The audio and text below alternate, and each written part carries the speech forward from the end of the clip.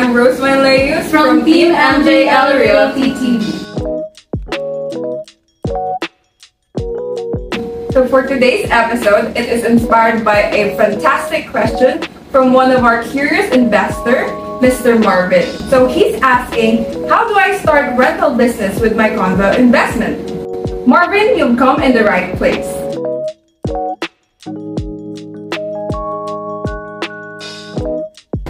Wine, it's one of the questions talaga na usually tinatanong sa akin ng mga clients ko. Uh, since karamihan ng mga clients natin is working abroad or based abroad, um, naghahanap sila or nagpa-purchase sila ng unit na pwede nilang matuluyan kapag umuwi sila ng Pinas. But they are also curious kung paano nga ba sila kikita doon kapag hindi nila ginagamit. So, kung paano nila gagawin income generating unit ito. Yes. So, kaya ang tanong ngayon, how can we turn that condo investment into a thriving rental business? But of course, you have to have your unit condo first.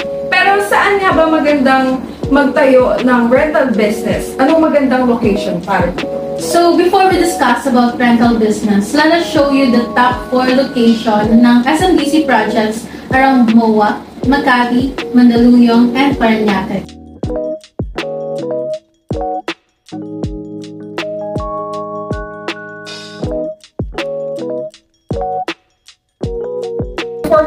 We have Shore and Ice. For Mandaluyong, we have Fame Residences and Light Residences. For Makati, we have Air, Red, and Lost Residences. And for Parañaque naman, we have Bloom Residences. So ikaw, Crystal, anong favorite mong project and location ng SMB? So for me, wine, one of my favorite project talaga is Bloom Residences. Since malapit lang to sa, kung saan ako nakatira, which is Parañaque. And I know na malaki ang potential nito when it comes to rental business. Since 15 to 20 minutes away lang to from the airport via Skyway, and napapalibutan to ng mga malls, schools, hospitals, and other establishments. And it's very convenient and accessible, which is advantage kapag naghahanap ka ng mga tenants. So for more information on how you can purchase a unit sa mga top selling projects natin, you can message us sa Facebook accounts namin. So now that we have a unit, syempre discuss naman natin ngayon kung paano tayo kikita sa ating rental business. So we have two options here. We have long-term rental business and daily rental business. So Wine, ano nga ba ang ibig sabihin ng long-term rental and how it works? Long-term rental business focuses on sustainable growth and stability.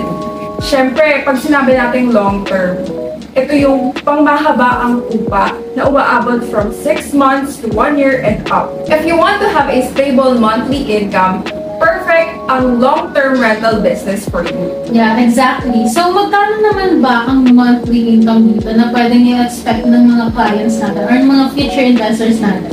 So like what we said earlier, price may vary to its location. So for Makati and MOA, LTR business o long-term rental business, it starts from 30k to 40k. Kapag naman sa Mandaluyong, 25k to 30k. Kapag naman Paranaque, 20k to 30k. So for example, meron kang unit sa MOA at meron kang magrerenta ng 6 months, ang unit mo can generate from 80k to 240k.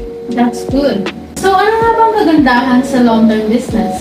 Well, syempre sa long-term business, meron kang stable income sa specific time na nasa contract nyo. Syempre, you can navigate as well yung list agreements nyo at pwede kang makapili kung sino o ilan ang tenants na kukunin mo. Since long-term nga ito, hindi mo na kailangan masyadong pagandahin yung unit. You just have to make it looks like livable naman. Diba?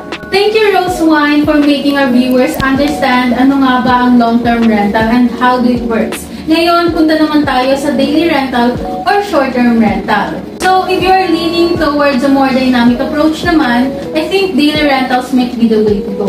So, whether it's through platforms like Airbnb or other short-term rental avenues, we will guide you through the ins and outs of managing a successful daily rental business. So since sa long-term rentals, you don't have to do a full renovation ng unit. Paano naman sa short-term rentals or daily rentals? Actually, good question yan, Wine. So, for short-term or daily rentals, we highly suggest that your unit is fully furnished. Since dito din magbe-base kung gaano kataas ang pwedeng i-rate mo or maging rate ng unit natin. And usually kasi kapag naghahanap ang isang tao ng unit for staycation or yung mapagsastayan nila at least um, a day, uh, a, a night or three days, ganon, they really want na kompleto na ang mga gamit dito. May mapaglulutuan sila, may matutulugan sila, and it's comfortable. So first off, we need to purchase a unit, either pre-selling or ready for occupancy. So, but in this case, uh, we highly suggest na you invest in a ready for occupancy. So, for example, here at SMDC, after a month uh, na nag-reserve ng unit, para ma-process yung turnover nito, you need to at least pay for the 5% spot down payment so that in 3 to 6 months, but at least, ayun, um, uh, as soon as possible, kapag nakompleto lahat ng details, documents na needed ni SMDC from the client, uh, as, um, or as soon as possible, pwede nang malipatan agad or maparentahan agad yung unit. Pero Kristen, pag uh, na-turn over na yung unit, what is the next step? So, for example na lang, kumuha si client ng unit sa Rad Residences, um, which is located at Makati City. Uh, like what I said, first month after reservation, need ni client mabayaran yung 5% down payment, which is for Rad Residences for a one-bedroom uh, unit, roughly around 290k tayo dito. And after that, ang magiging monthly na lang ni client for 35 months is 20k. So for example, um, after niya mag uh, ng DP, in 3 to 6 months, processing na ng uh, unit para ma-turnover. So as long as ma-provide niya yung mga documents and um, requirements needed ni SMDC, pwede nang uh, ma-turnover sa kanya yung unit. So, kapag ka na-turn over na yung unit, pwede nang pa-furnish. Yes, that's right. So, after ma-turn over yung unit, pwede nang i-process naman ngayon ni client yung furnishing ng unit na. Kasi sabi ko nga kanina, ang ah, kung gaano kaganda ang pagka-furnish ng unit ni client, ganun din pwedeng pa- Yung presyo. Yeah, exactly. Pwede natin mapataasan yung rate ng ah, per night ng mga tenants niya. So, ayun nga, sabi ko kanina, kapag Airbnb to or yung short-term rentals, mas magandang fully furnished yung unit. Kasi, ang hinahanap ng mga clients natin dito or ng target market natin dito is kompleto na. Yeah. Wala nang mga kulang sa condo na pupuntahan nila or pagsastayan nila. So, after naman ma-turnover and ma-furnish na ng unit, the next step is enroll your condo unit in leasing services. So, saan mo ba ma-recommend i-enroll ang unit ng isang? Okay. Before that, ah, by the way, pwede sila yung mag-handle ng rentals dito. Pero sabi ko nga, karamihan ng mga clients natin are busy din. Yes. Like, nasa ibang bansa sila, mahihirapan, lalo na kapag Airbnb. So, Airbnb, daily rentals yan, kailangan hands-on ka. Ah, marami tayong clients na working abroad. So, hindi yan applicable for them. Ah, pwede kung meron silang representative. Pero yun, kapag wala silang representative at all and gusto nila less hassle na yung process ng rentals, so pwede nilang i-enroll yung condo unit nila sa leasing services or property management ni SMDC. So, ayun guys, we have property management kay SMDC, but also meron din kami sa Team MJL Realty TV. And that's what I'm talking about. Dito sa Team MJL package na tayo from bank financing, after sales, and also the uh, furnishing, yung interior design, meron tayo dito. Yes. And lalo na dito sa leasing services, yan yung pinaka-importante. Kailangan ng mapagkakatiwalaan kapag pagdating sa uh, pagpaparenta na ng unit. So, uh, dito sa, uh, pero we have separate blog for that, kung paano nga ba i-enroll yung unit nyo sa Yes. program namin. Uh, dito naman, kami yung mag-handle from in and outs in the process ng pagre-rent ng mga clients and paghahanap ng tenants as well. So, uh, that's the good thing about our team as well. So, Kristen, di ba, nagbayad na si client ng 290k for Yes. down payment. Tama? And then after nun, monthly na ng 20k. Yes, exactly. So, paano sila kikita doon kung meron silang monthly na binabayaran? Ayan, so that's the catch. Paano nga ba natin, uh, paano magiging income generating unit to kung may binabayaran tayong 20k monthly, which is the 15% equity ng condo. So, uh, ito naman guys, payable siya for 35 months. Ito yung before bank financing. So, paano nga ba tayo kikita? For example, here in Makati, meron akong client na uh, may unit siya at Air Residences. Pinaparentahan niya to ng at least 2.5 uh, daily or per night. And then, for example na lang, uh, be realistic tayo dito. 20 days lang na naparentahan. Meron tayong 31 days, 30 or 31 days, pero naparentahan ng 20 days lang. 2.5 natin, i-times natin into um, 20 days, meron tayong 50,000.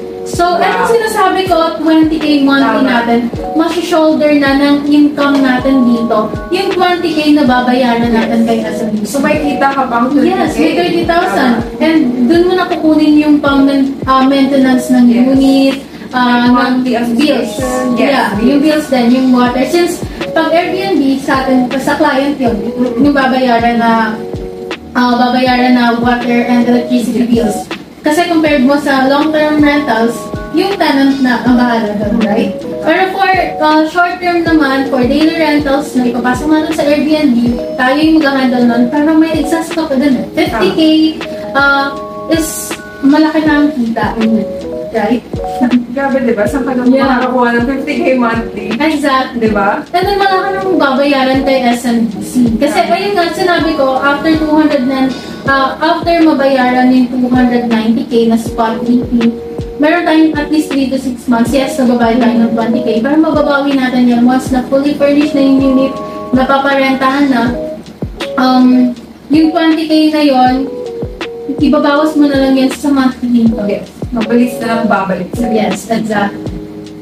So, grabe no. As you can see, Yes. ah, grabe yung kitaan sa condo investment. Hindi lang siya for personal use. Ah, paano mo siya maging personal use? Kagaya sabi ko, yung mga clients natin from abroad, abroad. may mapagsasayan sila once na umuwi sila ng Pinas. But at the same time, kapag hindi nila ginagamit, it can be income generating really. So, ayun guys, those are the two options na pwede niyong pagpilian. It is the long-term rental business and short-term or daily rental business. So, syempre depende pa rin sa'yo yun kung saan ka komportable, komportable sa schedule mo, at kung paano mo i-handle yung business na to. So, ayun guys, we are here to guide you as well. So, ayun, uh, I hope na may natutunan kayo sa video na to and for more uh, information or kung meron pa kayong mga tanong and concerns, Yes. you can contact us. Ilalagay namin dito yung number namin sa WhatsApp and Viber. Ilalagay namin dito yung Facebook page and Facebook account as well. So, if you have any questions or for inquiries, just message us for our contact details. So once again, I am Rose Layus. I'm Cristelia Donas, and thank, you for watching. watching.